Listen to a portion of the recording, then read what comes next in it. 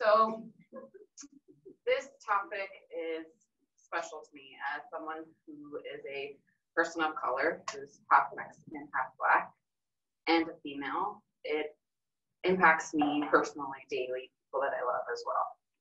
So I'm going to go over what bias is. Is it always something negative? Why do we even have biases?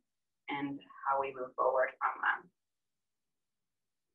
So the question, first question I want to ask you is, do you think biases play a role in the decisions you make every day? The answer should be yes. If it's not yes right now, hopefully it is by the end of my talk. That's the goal. So I can't talk about biases without kind of briefly going over how the brain works. Our brain is tasked to process a lot of information throughout the day. And most of our actions usually occur without much thought. Uh, what we do is our brain creates categories or schemas, what's also called in literature, based on cues for different objects and things. Um, and we use these cues to then place an object into a category. Usually it does very well for us, um, but however, things can go wrong. So this is an example of a schema. Say you're walking your dog named Grizzly on the trail and the dog starts barking. You look over and you see something that's long and is rattling. Your brain then has this cloud of association based on the visual cues and auditory cues that you have in front of you. And what happens is you start to have these associations like this is a snake, it's probably dangerous, it can bite me, there's poison, venom, and it all can be very bad. And that causes you to react and essentially leave the situation. This all happens very quickly. Um, it doesn't take much time for this to happen. And so these clouds of association affect the way we see things and interact.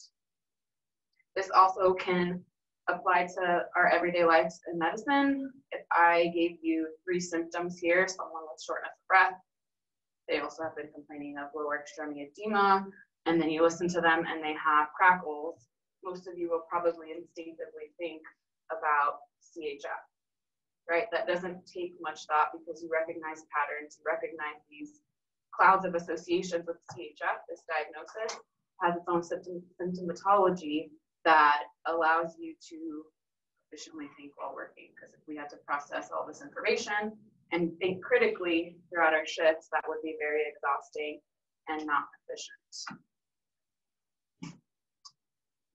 So we use this process for things, but we also use it for humans and people. So we place people in categories based on what they look like, their race, their profession, their religion, their gender. Um, and this can be pretty risky because, we'll all get into it in a slide or two. Um, and these categories that we place people in are usually based on stereotypes and attitudes. Most times, like I said, our judgments that we make on things and people usually are okay. However, sometimes it can cause life-threatening error.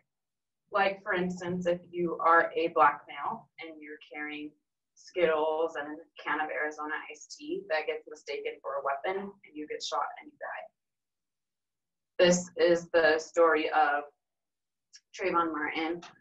Um, and it actually is a story of many others, not just him. And so one might ask, what causes one type of group to be at risk for these life-threatening errors to keep reoccurring?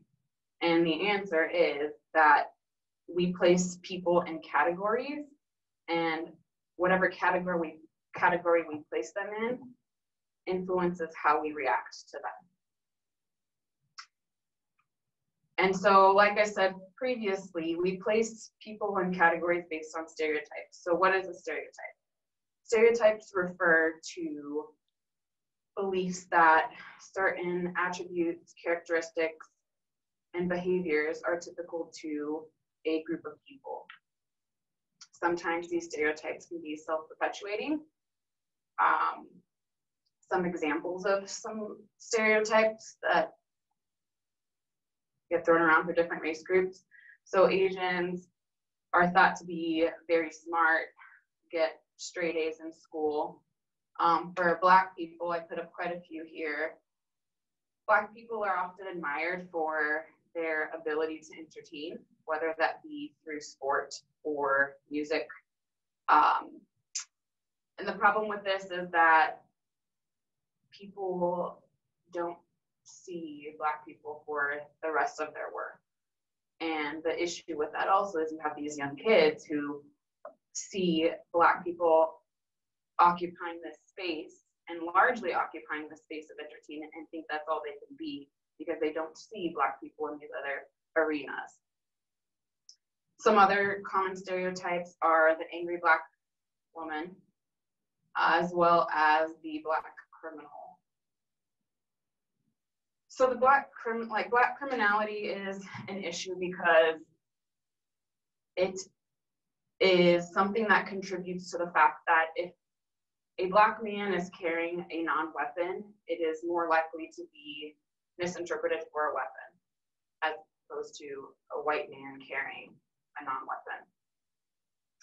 And a lot of times this black criminality comes from what we see in the media because Black people are often portrayed as the criminal and non-Black people are usually portrayed as the victim. And if you don't interact with very many Black people, that's all you have.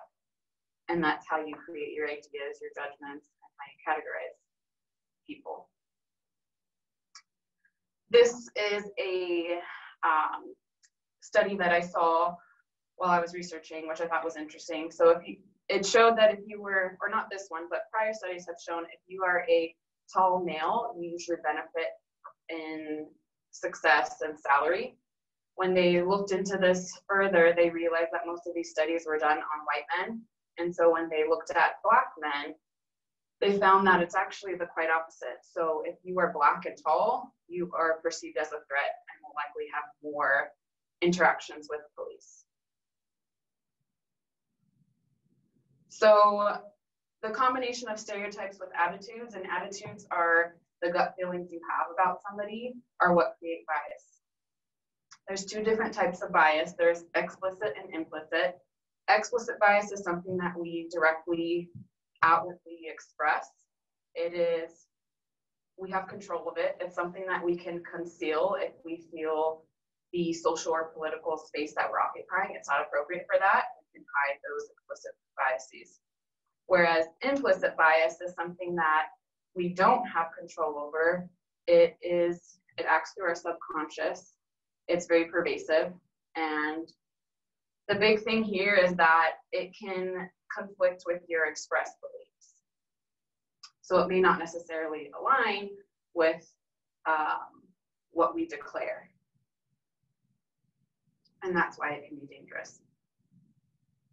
So why bias is important is because it predicts our behavior in real world class in, in the real world from classrooms to courtrooms to hospitals. And for us, that's really important, right? Because it can interfere with our clinical assessment of patients, our decision making, as well as our provider and patient relationship, such that health goals are compromised. And when that happens, it tends to leave a space for health disparities.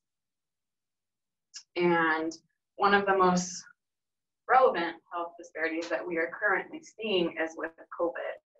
So this is a um, chart that the New York Health Department put out with some numbers that they've seen. And as you can see, this top here is Black people. And so they have more COVID cases than any other race group. Um, they are often or they're hospitalized more often than others, and they are more likely to die as well. and this is a problem.